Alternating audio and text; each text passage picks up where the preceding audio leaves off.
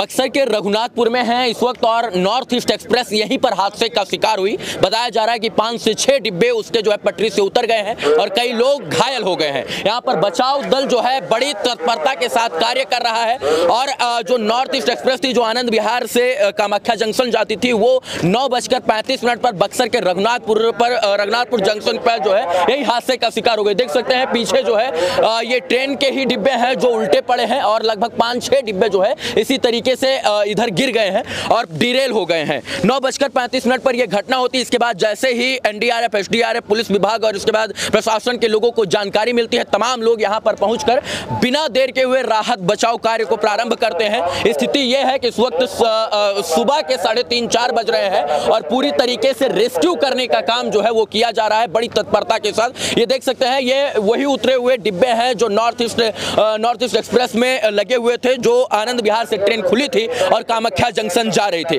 देश का इस साल का, देश का ये दूसरा सबसे बड़ा रेल हादसा है। पहले 1200 रेल हादसा, इसके बाद ये बक्सर का, ये बिहार के बक्सर के रघुनाथपुर का ये रेल हादसा। कहीं ना कहीं ये चिंता का सबब बना हुआ है। देख सकते हैं ये इधर इधर इधर और इधर भी कुछ डिब्बे हैं। यहाँ पर पूरी तरीके से प्रशासन के लोग चुस्त दुस्त मुस्तैद खड़े हैं। पूरा क्षेत्र जो है छावनी में तब्दील हो चुका है। जो लोग घायल थे, उनको निकाल कर एंबुलेंस के माध्यम से आसपास के इलाकों में पीएमसीएच, उसके बाद एम्स जैसे अस्पताल में उनको एडमिट कराया गया है। बाकी जो है राहत बचाव का कार्य यहाँ पर ज़ोर शोर से चल रहा है। इधर आप देख सकते हैं, ये ट्रेनें, आइए, एक बार दिखाते हैं, इधर आइए।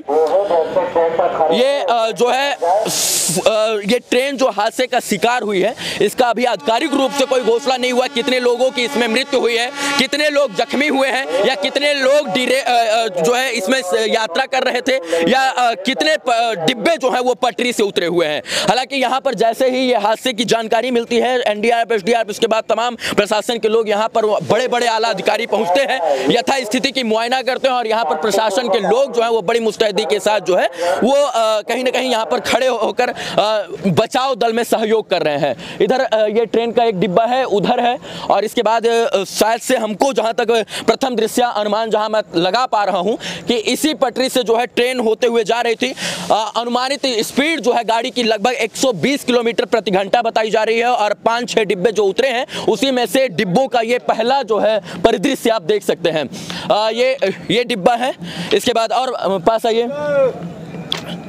सुबह के तीन बज रहे हैं और जैसे ही घटना हुई है तब से ही बचाव कार्य बड़ी तत्परता के साथ बड़ी तेज़ी से चल रहा है। ये देख सकते हैं ये शायद से एसी एसी क्लास का जो है एसी क्लास है और ये पूरी तरीके से पूरी तरीके से ये डिब्बा जो है क्षतिग्रस्त हो गया है। दूसरा आप देख सकते हैं अ, लोग आनंद विहार से बैठे थे कामाख्या जंक्शन तक ये ट्रेन जाती पटना से पहले बक्सर के रघुनाथपुर में हादसे का शिकार हो गई है। जो लोग बैठे थे जो लोग यात्रा कर रहे थे वो नहीं सोचे थे कि शायद से इतना बड़ा हादसा हो जाएगा लेकिन यह हादसा हुआ है और इसके देखिए। आइए आइए, पास में आइए। देखिए प्लेटफॉर्म की एक बार स्थिति दिखाइए। जो है, गाड़ी की स्पीड रघुनाथपुर में ये गाड़ी नहीं रुकती थी। बक्सर के बाद इसकी स्टॉपेज शायद से पटना में थी। और रघुनाथपुर जैसे ही पकड़ती है, इसी इसी इसी ट्रैक से जो है, इसी ट्रैक से गाड़ी जा रही थी। और लगभग गाड़ी की स्पीड जो है जहाँ तक अभी तक प्रथम दृश्य खबरों के माने सूत्रों के माने तो 120 किलोमीटर प्रति घंटा की रफ्तार से ट्रेन जा रही थी और इसी लाइन पर जा रही थी। और जैसे ही हादसा होता है धड़ाम से आवाज़ आती है सबकी नींद खुल जाती है और पैसेंजर जो इसमें यात्रा कर रहे थे, वो आँख खोल कर देखते हैं तो यहाँ बहुत कुछ घटित हो चुका होता है। क्योंकि इधर भी बोगियाँ क्षतिग्रस्त हुई है, वो बोगी उतरी है, और आप देख लीजिए, अब हम शुरू से आपको दिखाएँगे, इधर आइए। शुरू से हम आपको दिखाएँगे कि कितनी बोगियाँ जो है वो उतरी है। एस वन है तो स्लीपर क्लास होगा। इसके बाद भी जो है ये बोगी भी उतरी है। और जो मैंने शुरू में पहले आपको वीडियो दिखाया था, वो बोगी सबसे ज़्यादा क्षतिग्रस्त हुई है। अब आप देख लीजिए, शुरुआत से हम गिनते हैं, लगभग पाँच से छः डिब्बे जो हैं, वो पटरी से उतर हो गए, बेपटरी हो गए। और और इसके ए, उसके बाद जो है यहाँ पर जैसे ही लोगों को जानकारी मिली तुरंत लोग दूसरी तरफ़ ये पैसेंजर ट्रेन आ चुकी है। लोगों को यहाँ से भेजने का कार्य वो किया जा रहा है।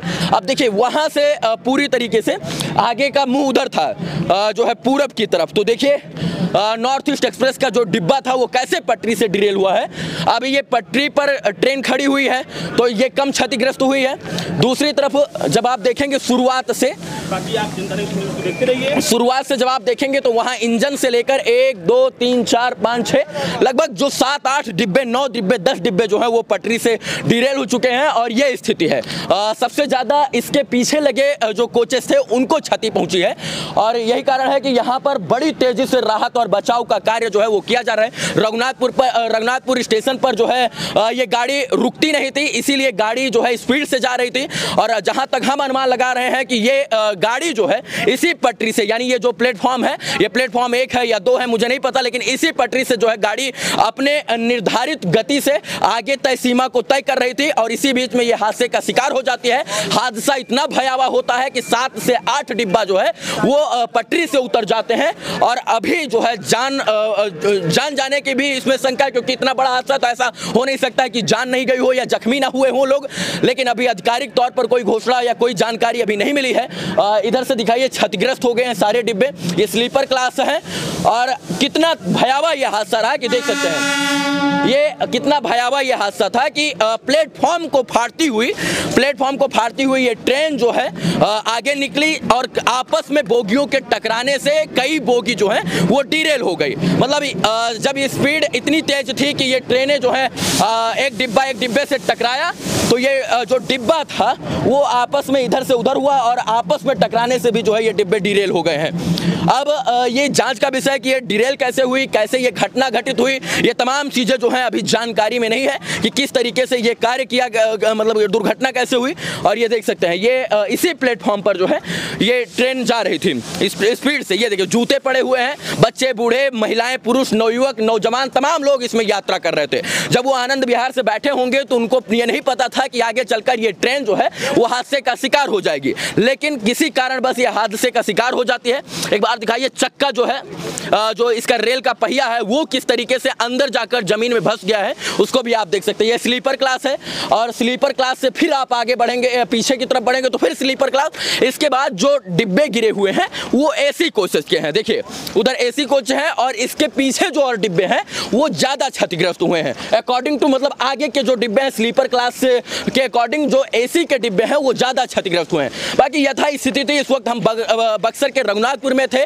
जैसे ही हम लोगों को पता चला कि नॉर्थ ईस्ट एक्सप्रेस जो आनंद विहार से कामाख्या जंक्शन जाती वो हादसे का शिकार हो गई है। हम लोग तुरंत यहाँ पर पहुँचे और देखिए यथा स्थिति यही है कि जो है, ये ट्रेन छोटा मोटा हादसा नहीं, बल्कि ये भयावह हादसा और बड़ा हादसा है।